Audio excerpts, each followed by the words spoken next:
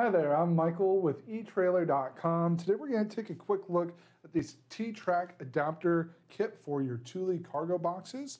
Uh, this kit is going to allow you to attach your Thule cargo box directly to your T-Tracks of your crossbars. So it is going to uh, replace the power cl click uh, clamps on your uh, Thule cargo box. So uh, this kit is specifically designed for those cargo boxes with the PowerClick uh, mounting clamps.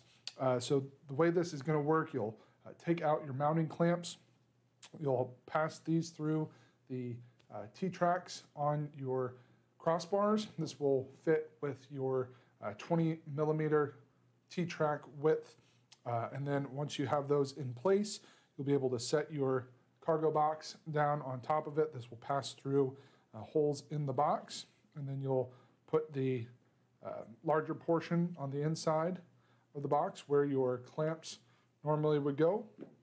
And then you can tighten it down like so inside uh, so that you'll have a nice snug fit like you're used to. Uh, so if you are uh, wanting to uh, use those T-tracks rather than having the mounting clamps that go around your, your crossbars, this is going to be a great option for you because this is uh, from Thule, you can trust it is going to work with your Thule cargo box. You're not going to have to worry about fit issues or anything like that.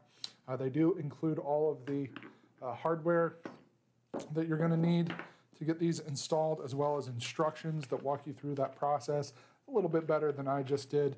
Um, but then you can see on the bottom of these brackets, there are going to be these uh, portions that stick up or uh, will stick down into that uh, track where your clamps typically go.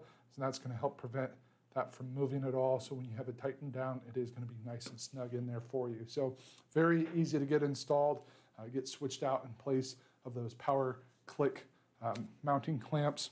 This does come with a limited lifetime warranty. So if you were to have any problems with it, you're more than welcome to reach out to us here at eTrailer.com.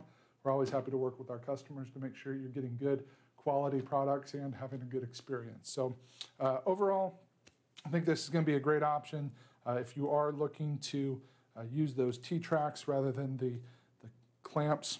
This is going to be exactly what you need. So that completes our look for today. Again, I'm Michael with eTrailer.com. Thanks for watching.